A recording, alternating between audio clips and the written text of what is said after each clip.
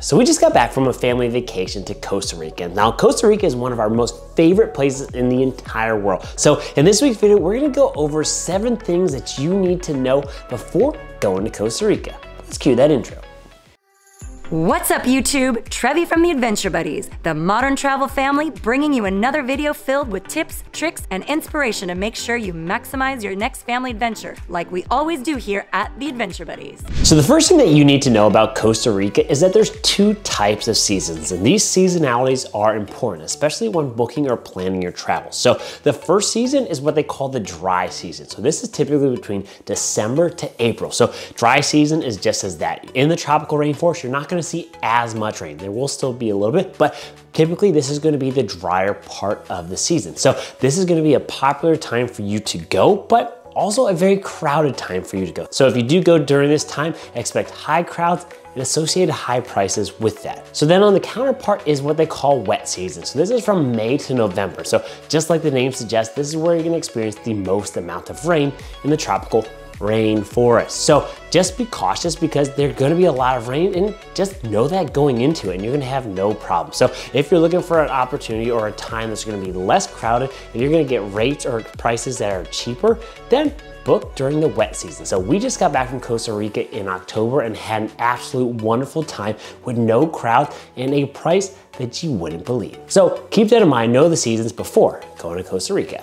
So the second thing that you should know about Costa Rica is that this is a country that requires no visa. So whether you're American or most European countries, this requires no visa. And so oftentimes upon arrival, you'll get a 90 day tourist visa just for that. So if you're planning on staying in 90 days, then you have more things to consider. But if you're not, you're just going for that vacation, then no need to worry. Your passport will do just fine.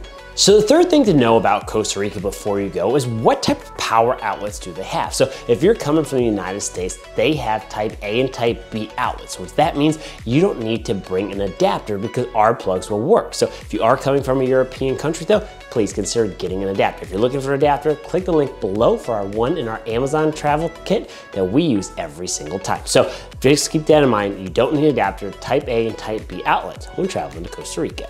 So the fourth thing that you need to know about Costa Rica before you go is to understand the overall tipping culture. So we find the tipping culture fascinating as it varies between each international country that we do. So Typically in Costa Rica, you're gonna see a 10% service charge that's gonna be automatically added onto any bill. So that's gonna be seen at the restaurants, that's gonna be seen as part of gratuity for adventures, etc. So just know that going in. And so if you feel that the service is going above that 10%, feel free to contribute more in terms of tips and gratuity. So the fifth thing that we feel you need to know about Costa Rica before you go is that Costa Rica is filled with non-stop adventures. So they have everything from zip lining to rappelling down waterfalls to jumping off waterfalls, whitewater rafting, horseback riding, etc.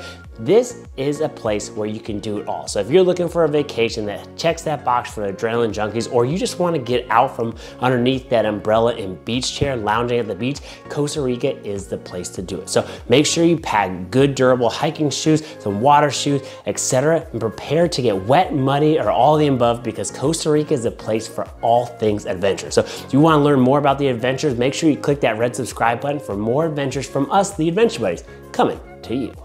So then that brings us to number six. Make sure you understand that Costa Rica is typically divided up into two parts, the Caribbean side and the Pacific side. Both sides are uniquely different. So whether you're looking for a total beach vacation or you're trying to just be submersed in adventure inside the jungle, make sure you do a little bit of research on which one that you prefer. I'm not gonna give away which one it is, but if you are asking us, we do prefer the Pacific coast and we'll get into why in number seven.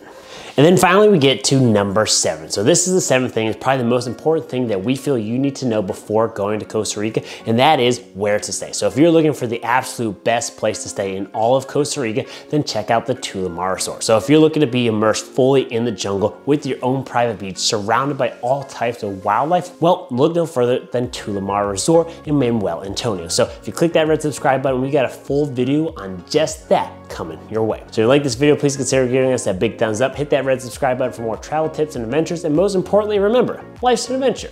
Who you going on with?